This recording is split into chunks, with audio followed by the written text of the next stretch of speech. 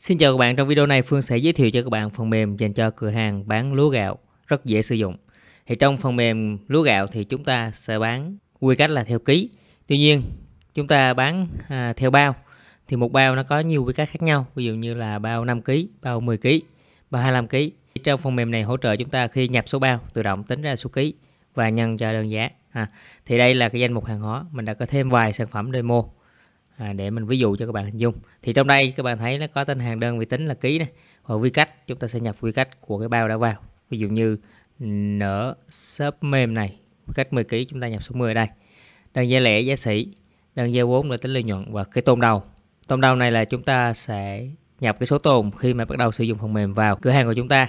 Ví dụ lúc sử dụng phần mềm cái sản phẩm này cái lò gạo này tồn đầu 300 kg chúng ta quy ra ký để chúng ta nhập vào đây. Ok, đó là phần danh mục hàng hóa. Chúng ta bấm quay lại. Và đây là trang chủ của phần mềm. Ngoài ra chúng ta cũng có là danh mục là khách hàng. Thì chúng ta lưu tên khách hàng để chúng ta quản lý công nợ. Tương tự với nhà cung cấp cũng vậy. Chúng ta cũng có thể theo dõi công nợ của nhà cung cấp.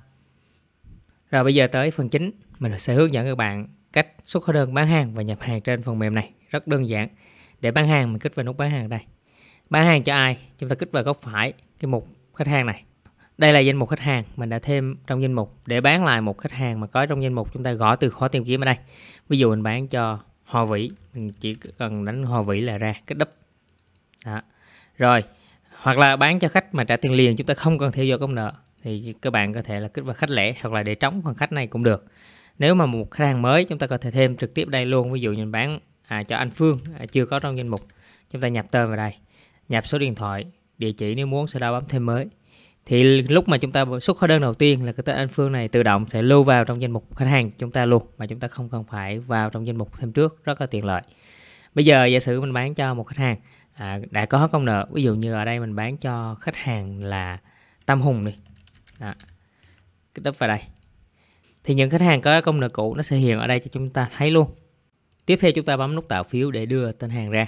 À, đây là những danh mục hàng hóa mình đã à, thêm ở trước đó ha. Bây giờ muốn bán sản phẩm nào? Chúng ta gõ từ khóa để tìm kiếm ra nhanh. Ví dụ ở đây mình gõ là thơm dứa đi chúng ta chỉ cần gõ từ dứa là được rồi. Sau đó chúng ta chọn cái quy cách tương ứng ví dụ như là 25 kg đi. Đó cái bao 25 kg thì trong một số lượng này các bạn chỉ cần nhập số bao. Số lượng này là số bao nha các bạn. Ví dụ ở đây một bao 25 kg chúng ta nhập hai bao. Thì uh, nó sẽ sẽ có cái quy cách mà chúng ta đã cài đặt sẵn này là 25 kg trên một bao. Như vậy thì hai bao nó sẽ là 50 kg đó thì nó tự động tính 50 kg cho chúng ta luôn đơn giá này là đơn giá mặc định trong danh mục chúng ta đã cài đặt. Các bạn có thể sửa lại đơn giá ở đây nếu muốn. Ví dụ ở đây mình bán là 11 ngàn là sửa lại. Và cái đơn giá này sau này nó sẽ nhớ cái đơn giá gần nhất mà mình bán cho tâm hôn này với cái sản phẩm này. Ví dụ ở đây gần đây mình đã bán giá 11.500 này để bán lại giá này các bạn lấy chuột kích vào đây thôi. Đó, để bán lại giá này. Sau đó chúng ta bấm thêm. Thì cái tên hàng sẽ được thêm ra ngoài màn hình bán hàng vậy chúng ta. Đó. hoặc là ví dụ mình bán một sản phẩm khác ví dụ như ờ, nợ khô đây mình gọi chữ khô là được rồi nở sấp khô 5 kg số lượng, ví dụ ở đây chúng ta không bán bao nữa, mà chúng ta bán ký thôi, bán một ký thôi, thì vẫn có thể nhập được. Là chỗ số lượng bao này mình nhập không, quy cách nhập không luôn. Và chỗ số lượng này mình bán một ký gọi một ký vào đây. Đó, ví dụ đơn giá này là 12.000 ký, chúng ta nhập vào. Cái tên đơn giá này, cái tên hàng này không có đơn giá bởi vì chúng ta chưa cài đặt. Thì các bạn có thể không cài đặt và nhập đơn giá khi chúng ta bán cũng được, sau đó bấm thêm. Các bạn thấy cái cách đưa tên hàng rất đơn giản rồi sau khi mà thêm ví dụ mình lấy hai mặt hàng thôi sau khi thêm xong chúng ta bấm nút thoát. Chúng ta kiểm tra lại những cái thông số ví dụ như là số bao số ký tổng số lượng đơn giá. Các bạn có thể sửa lại ở đây cũng được ví dụ như là ba bao sửa lại số 3 thì tự động ra ra 75 kg nhân 11.500 đồng ra tiền. Sau khi kiểm tra xong thì chúng ta sẽ bấm nút F8 hoặc là nút thanh toán ở đây để đưa ra cái form. À, quản lý công nợ ở đây là tổng cộng là tổng cộng cái đơn này nợ cũ là cái nợ cũ của hóa đơn trước gói đầu qua.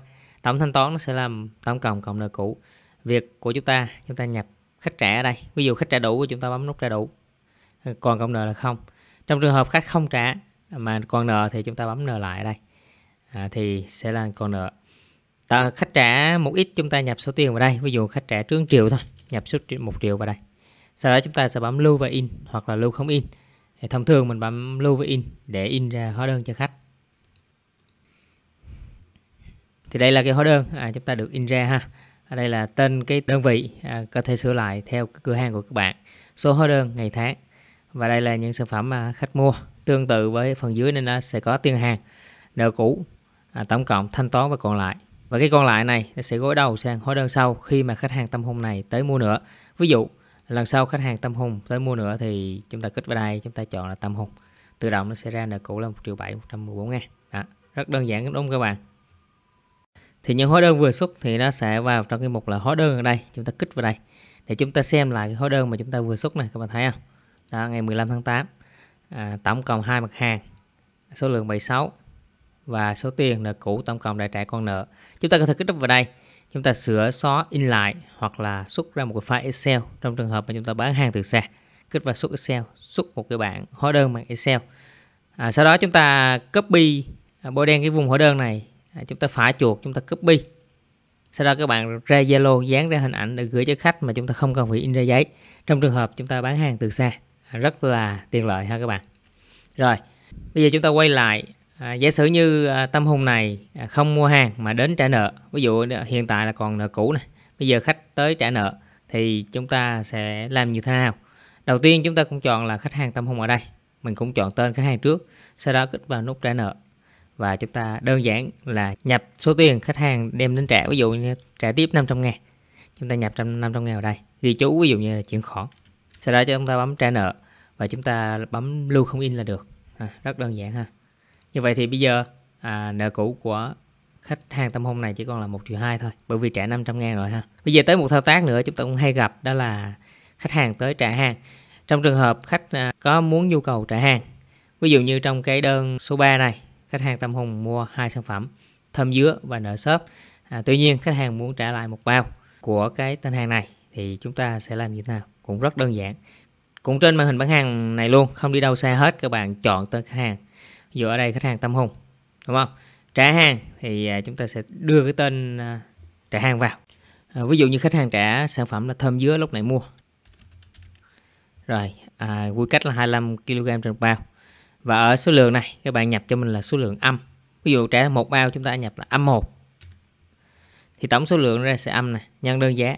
Và chúng ta nhớ kích vào giá gần đây để chúng ta lấy lại cái giá lúc ta bán ha cho nó không bị chênh lệch sau đó chúng ta bấm thêm. À, các bạn thấy là cái giá gần đây nó rất lợi hại ha rất tiền lợi bấm thêm. Đó. thì các bạn ra đây các bạn thấy à, tổng số lượng trừ 25 này nó sẽ trả về kho cho chúng ta. Và cái công nợ 287 ngàn nó sẽ được trừ vào trong cái nợ cũ. Chúng ta bấm nút thanh toán à, các bạn có thể ghi chú ở đơn này là trả hàng chẳng hạn. Ví dụ như thế. Sau đó bấm nút thanh toán. Và ở đây các bạn các bạn thấy là tổng số tiền 287 ngàn đã được trừ vào nợ cũ. Thì thành ra là khách hàng chỉ còn nợ chúng ta là 927 ngàn thôi. Sau đó chúng ta bấm lưu không in. Như vậy thì vừa rồi Phương đã hướng dẫn các bạn cách xuất một cái hóa đơn này. Rồi cách khách hàng trả nợ gối đâu này. Hoặc là khách trả hàng. Cũng rất đơn giản chỉ trên một màn hình bán hàng này thôi. Bây giờ chúng ta qua phần nhập hàng nhập hàng thì cũng tương tự mình cũng kích vào nhập hàng đây xong là mình chọn nhà cung cấp. Ví dụ ở đây có một nhà cung cấp à, là lúa gà miền đông mình kích vào đây. Sau đó mình cũng sẽ nhập hàng tương tự thôi. Ví dụ ở đây mình nhập là cái sản phẩm lúc nãy bán đây thơm dứa quy cách là 25 kg đi. Bây giờ mình nhập số lượng là 100 bao. Đó, quy cách 25 như, như vậy thì tổng số lượng là hai ngàn rưỡi ký. Đơn giá mình nhập vào là 9 ngàn sáu sau đó chúng ta bấm thêm.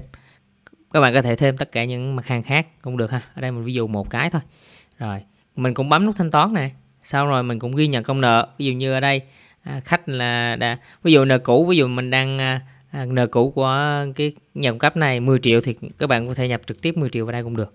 Đó. Rồi ví dụ đã trả mình nợ nhà cung cấp đi ha sau đó bấm lưu không in. Thông thường thì nhập hàng chúng ta không in ra giấy. Đó.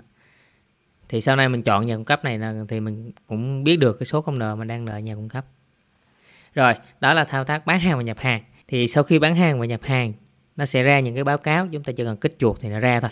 Ví dụ ở đây chúng ta có báo cáo này à, báo cáo tổng hợp hóa đơn bán hàng. Là cái báo cáo này để chúng ta lọc theo từ ngày đến ngày. Ví dụ ở đây mình chọn là từ tháng 7 đến tháng 8 bấm ok.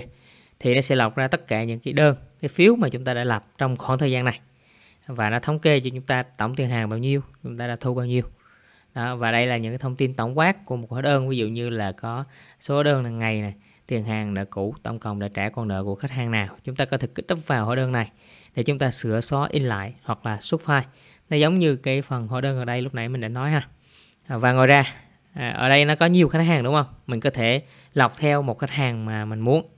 À, bằng cách chúng ta kích vào chỗ cái nút khách hàng này. Chúng ta chọn một khách hàng mà chúng ta muốn lọc. Ví dụ khách hàng là Tâm Hùng đi. Đó, nó lọc ra tất cả những hóa đơn của khách hàng Tâm Hùng. Đó, rất là đơn giản. Rồi, tiếp theo chúng ta sẽ có là báo cáo chi tiết bán hàng. Chi tiết thì nó sẽ hiện chi tiết hơn. Nó hiện tất cả những cái mặt hàng mà khách hàng đã mua luôn. Ví dụ như ở đây mình chọn là từ à, tháng trước đến tháng này ví dụ 15 tháng 7 đến 15 tháng 8 bấm ok. Thì nó sẽ cho chúng ta biết được là ngày này khách hàng tên hàng đơn vị tính à, số bao luôn. Quy cách ký trên bao tổng số lượng ký nhân đơn giá nhân thành tiền. Và phần bên phải này nó sẽ có những thông tin lộ trình trả nợ như là tiền hàng nợ cũ tổng cộng đã thu còn lại. Đó và cũng có thể lọc theo một khách hàng nào đó ví dụ khách hàng tâm hồn, đó. thì các bạn thấy là cái phần mềm của chúng ta theo dõi công nợ gối đầu. Có nghĩa là công nợ của hóa đơn trước nó sẽ gối đầu sang hóa đơn sau. Ví dụ như ở đây. À, còn lại của hóa đơn số 2 này. Nó sẽ gối đầu sang thành nợ cũ của hóa đơn số 3 tương tự với những hóa đơn khác cũng vậy nó cũng gối đầu sang này các bạn thấy không? Đó. thì cái nợ cuối cùng chính là nợ hiện tại mà khách hàng đang nợ chúng ta. Và các bạn có thể xuất file chọn xuất một cái bảng Excel của cái bảng chi tiết này để chúng ta gửi cho khách hàng và đối soát công nợ với khách hàng. Để khách hàng à, theo dõi được là những sản phẩm mà khách hàng đã mua này và lộ trình trả nợ cũng như là nợ hiện tại mà khách hàng đang đang nợ mình thì cái bảng này mình rất là hay sử dụng ha. À, rồi tiếp theo à, chúng ta sẽ có là à, báo cáo xuất kho lợi nhuận. À, trong báo cáo xuất kho lợi nhuận nó cho phép chúng ta xem từ ngày đến ngày. À, và nó sẽ cho chúng ta biết là trong cái khoảng thời gian này chúng ta bán từng sản phẩm tương ứng với số lượng bao nhiêu thành tiền bao nhiêu cũng như là lợi nhuận của mặt hàng đó. À, giống như cái thâm dứa này à, chúng ta bán trong vòng một tháng qua thì bán được 200 kg thành tiền. Giá vốn là bao nhiêu đây? Tiền vốn ra lợi nhuận. Và chúng ta cũng có thể lọc theo từng khách hàng nếu chúng ta muốn. Đó. rồi à, tiếp theo đó là báo cáo số nợ khách hàng. À, những khách hàng mà chúng ta bán nợ thì nó sẽ hiện ở đây công nợ hiện tại. Ai đang nợ chúng ta? À, và chúng ta có thể kích đúp vào cái công nợ này để chúng ta xem chi tiết công nợ thì sẽ quay về bảng chi tiết để chúng ta xuất cái file Excel. Chúng ta gửi cho khách hàng đối số công nợ. À, rất đơn giản. À, tiếp theo nữa à, chúng ta sẽ có báo cáo nhập hàng chi tiết nhập hàng nhập kho và số nợ nhà cung cấp. Thì dành cho cái phần nhập hàng thì nó giống như cái phần bán hàng thôi. À, à, và cuối cùng đó là phần quản lý kho để chúng ta biết à, tồn kho hiện tại này. Đó hiện tại trong kho chúng ta đang tồn à, số lượng bao nhiêu? Ví dụ như cái nở shop mềm này chúng ta tồn là 290 kg số lượng quy đổi ra ra bao đó là 58 bao. Đó à, tương tự tương ứng với giá vốn và tiền vốn. Tiếp theo đó là cân đối nhập xuất tồn. Để chúng ta xem được à, trong khoảng thời gian nào à, chúng ta à, có số lượng tổng quát là tồn đầu nhập xuất và tồn cuối bao nhiêu. À, mình lấy ví dụ như cái sản phẩm thơm dứa lúc nãy này à, tồn đầu là 300 kg chúng ta nhập là 2.500 kg xuất là 200 thì còn là 2.600 kg à, đây là số lượng tổng quát các bạn. Rồi tiếp theo đó là thẻ kho. Thẻ kho thì nó sẽ cho chúng ta truy xuất ra những lần nhập xuất của một mặt hàng nào đó. Bây giờ ở đây chúng ta chọn ngày 1 tháng 8 đến ngày ngày 15 tháng 8 à, chúng ta chọn cái sản phẩm à, đó là thơm dứa quy cách 25 kg đi. À, chúng ta bấm xem. Các bạn thấy là ở đây nó, chúng ta xuất này xuất hai lần cho tâm hùng và có một lần tâm hồn trẻ là 25 kg là số âm. Và chúng ta nhập một lần của cái nhà cung cấp lúa gạo miền Đông 2 2.500 kg như vậy thì tổng tồn cuối là 2.600 kg nó giống như cái tồn kho hiện tại như lúc nãy ha à. và các bạn có thể thêm từ thời gian nào đến khoảng thời gian nào nếu các bạn muốn. Như vậy thì vừa rồi Phương đã demo cho các bạn xem một số tính năng chính của phần mềm Excel quản lý cửa hàng lúa gạo.